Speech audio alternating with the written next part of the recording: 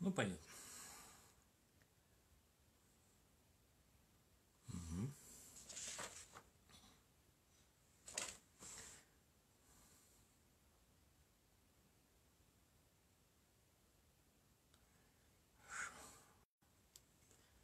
Приглашите.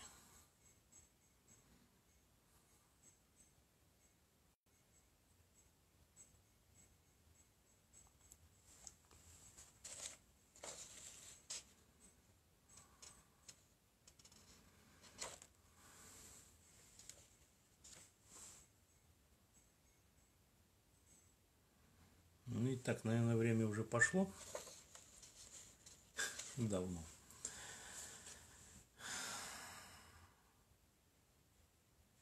Подождите. Ждем тогда.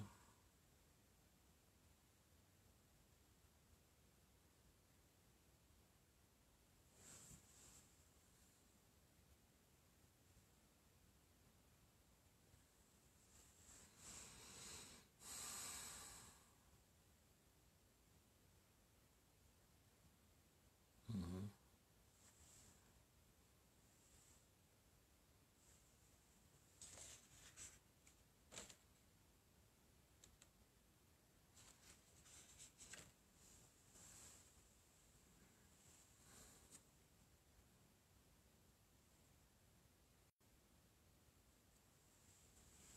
Не, ну не надо так. Так, уважаемые слушатели, здравствуйте. Я являюсь заведующим опорным пунктом в городе Карганда, северного филиала НПЦ рыбного хозяйства. Сегодня я хочу вам предложить такую тему достаточно сложную, поэтому и говорить я буду, наверное, больше, чем остальные выступавшие до меня спикеры. Эта тема касается применения уравнений роста и линейно-весовых отношений в теории и практике рыбного хозяйства.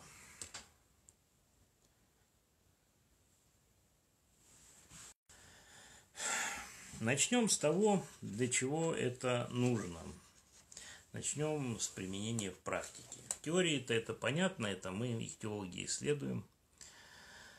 Э, рост, удовлетворяем свои потребности научные, ну и пытаемся э, понять закономерности. Для практики. Во-первых, в естественных водоемах. Это необходимо для сравнения э, популяций из нескольких водоемов для того, чтобы выбрать более продуктивную из них и в дальнейшем на ней базировать э, рыбное хозяйство, ну, либо в виде пастбищного традиционного, либо даже в э, виде ОТРХ с доминированием естественных кормов. Кроме того, в естественных водоемах, как вы знаете, существуют популяции некоторых видов, которые разводятся искусственно. Тот же сазан на юге и сиговые на севере. Так вот, для того, чтобы выбрать наиболее продуктивную популяцию для дальнейшего размножения или формирования ремонтно-маточного стада, также можно провести подобные исследования и выявить ту популяцию, которую более продуктивна и которая может в дальнейшем дать больший эффект по сравнению с другой или другими популяциями. При эм, выращивании рыбы в искусственных условиях.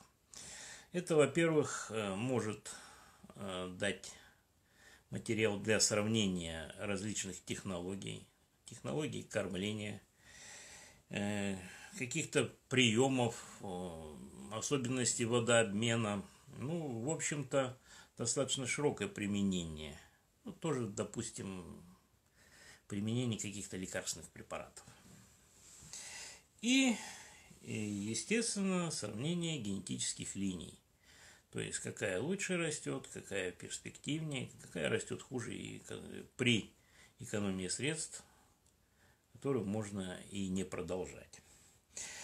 В общем, знание этих процессов, процессов роста и особенно их выражение э, в цифр, цифрах, наглядное выражение в цифрах, оно во многом упрощает процессы ведения рыбного хозяйства и, соответственно, экономит средства на его развитие, что в наш период немаловажно. Теперь перейдем непосредственно к этим уравнениям. Извиняюсь. Первое уравнение – это общеизвестное уравнение Форда Уолфорда. Здесь вот, ну это, в принципе, вы можете в большинстве учебников найти его. Это несложное уравнение. Это уравнение динамики роста. То есть какова длина была, какова длина стала и плюс коэффициенты 2.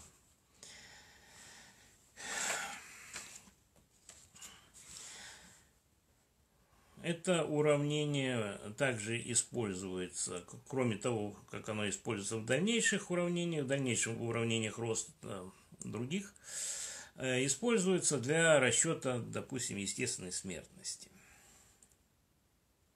В общем, это э, дает исходные константы для уравнений. Теперь непосредственно уравнение роста. Это ну, три основных уравнения. Это фон Бертоланфи, э, Гомприца и линейно-логистической функции. Для рыб э, наиболее подходящие и наиболее часто употребляемые это уравнение 38 1938 года фон Бертоланфи – Само уравнение, да, ну, оно связано с дифференциалами, поэтому я показывать не буду. А вот три константы, которые вычисляются и которые дают пищу для анализа, вот здесь показано, как они рассчитываются. Значит, первое – это асимптотическая длина. Это длина, максимально теоретическая длина, которую мог, мог могла бы достигнуть рыба с учетом ее, ее бесконечного роста все-таки. Потом константа роста, ну, функция сама по себе вспомогательная. И начальный возраст, при котором длина тела бы равна нулю, это тоже теоретический показатель, обычно имеет отрицательное значение – Эти привязки, эти показатели не имеют привязки к каким-то биологическим показателям. Ну, явным показателем, конечно, не базируются на темпах роста и оценивают выборку полностью. Чем длиннее ряд и чем больше выборка у вас, тем более точные данные получаются. Кроме того, уравнением Бертоланфи можно проверить, правильно ли вы вообще рассчитали возраст. Допустим, по асимптотической длине это понятно. Когда, допустим, приведу пример так, по, по линю, у вас асимптотическая длина получается порядка 40 сантиметров при наибольшей, допустим, ну, сантиметров 25 выборки то можно считать, что уравни... определение возраста у вас прошло достаточно правильно. Ну, понятное дело, что могут быть какие-то грехи. Это очень сложный, сложный вопрос определения возраста. Но если у вас асимптота порядка 128 сантиметров, можно смело говорить, что возраст определен неправильно. Так, далее. На основании, в принципе, э, уравнения Бертоланфи вычисляется один очень интересный индекс. Если Бертоланфи и Форда Волфорда вы можете найти, то поле Марна, э, индекс эффективности роста, э, в нашей литературе встречается нечасто. Это числовой показатель, который как раз таки наглядно показывает, какой темп роста. Ну, если взять того же линя, то э, вот наши центрально-казахстанские, северо-казахстанские популяции, у них э, индекс полимарно варьирует от 2,10 до 2,7. И вот есть популяции, которые, ну, конкретно видно, да, вот их визуально видно, что они растут хуже. Ну, ряд цифр на это наталкивает. И у них коэффициент этот ближе к 2,10. Есть популяции в основном, основное ядро популяции, которое растет средний, имеет средние темпы роста, и у них коэффициенты 2,3, 2,4. Ну и есть быстрорастущие популяции, которые стремятся к 2,7. Это очень наглядный показатель, и по нему, в принципе, сразу видно, как обстоят дела с темпами роста.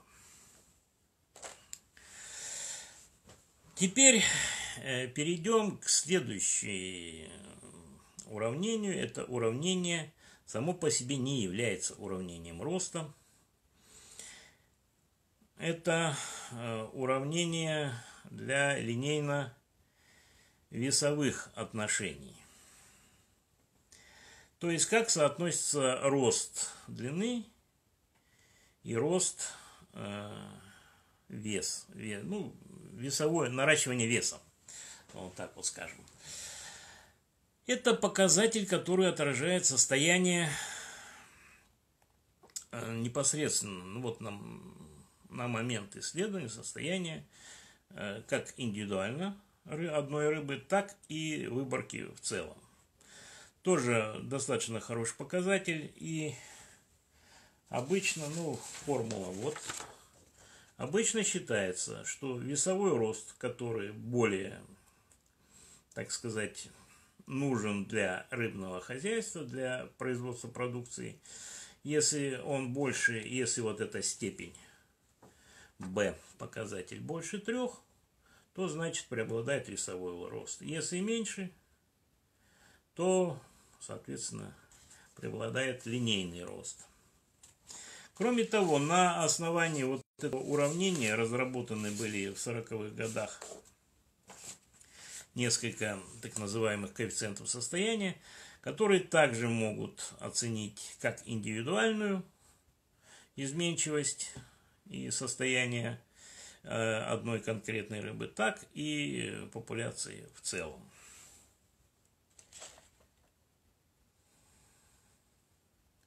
Здесь единственное стоит отметить, что при э, применении линейно-весовых отношений необходимо что использовать э, при сравнении либо выборки одного сезона, либо это могут быть комплексные выборки, но сезоны должны, сезоны или фенологические фазы, то есть нерест, нагул, зимовка, должны совпадать, должны быть одинаковыми для всех выборок. В принципе, это вкратце так все, что я хотел сказать. Теперь можно перейти к вопросам. Так. Здравствуйте. Применимы ли эти уравнения к нерыбным объектам, ракам, тюленям и другим? В общем-то, естественно, что применяются они, применяются вплоть до того, что там рассчитывают рост саранчи. Но дело в том, что фонд Берталанфи, уравнение, оно более подходящее для э, беспозвоночных и для рыб, то есть для гомоэтерных. Для поикилотерных тюленей там, и птицы это уже более применимо уравнение Гомприца. А так можно применять беспроблемно.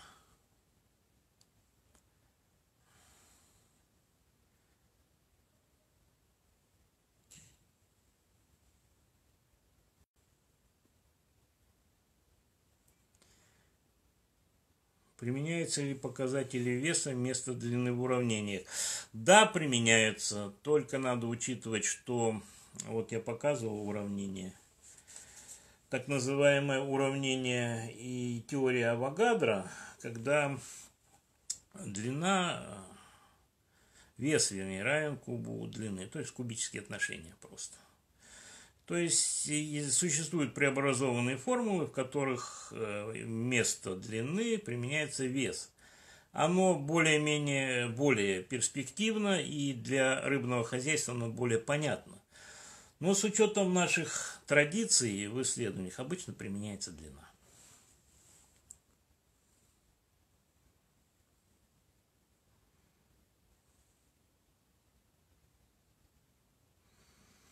Так, какие еще вопросы будут?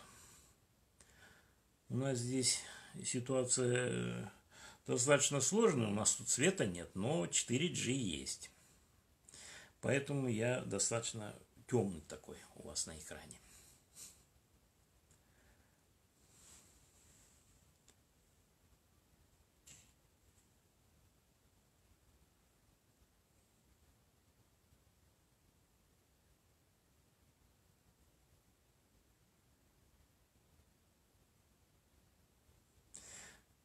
Вопросов, по всей видимости, больше нет.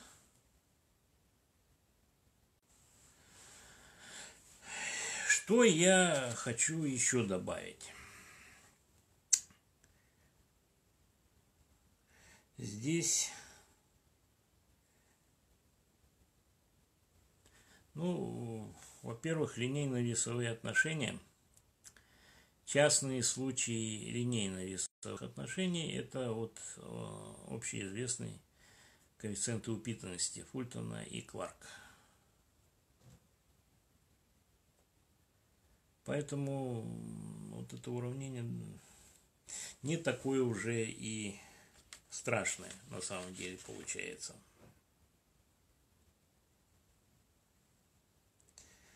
Так, потом при расчете э, показателей формулы Бертоламфи, в принципе, можно применять как на натуральные промеры или взвешивания, так и э, данные обратного расчисления роста.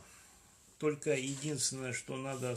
У нас это как-то особо не принято, но на Западе применяют даже просто чисто механически перенося данные эти, э, формулу в расчетах фон Берталанфи. И есть еще методика э, Вогана Бертона, который по-особому рассчитывает так называемое правило последнего кольца. То есть и строится ряд, где возраст, э, где длина в 3 года э, берется только у трехлеток, в 4 года у четырехлеток, ну и так далее. Есть такие методики. Ну,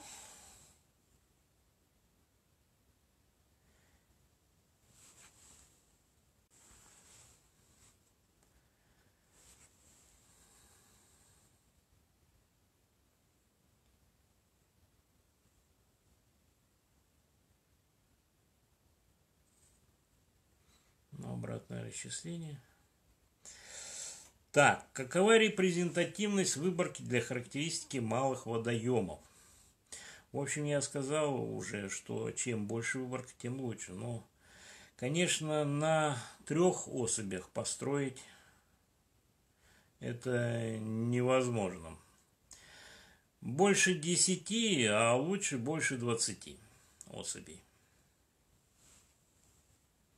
В каких регионах проводите исследования? Ну, у меня Каргандинская, Акмолинская, Североказахстанская. Это в основном водоемы ООПТ, Нура, Есиль, местные водоемы. Я на каких-то крупных так не работаю. В основном, конечно, водоемы ООПТ.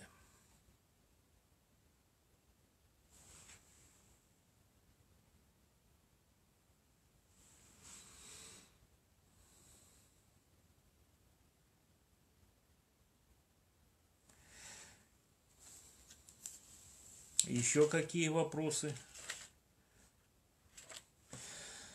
А то мне тут говорят, больше сейчас нельзя.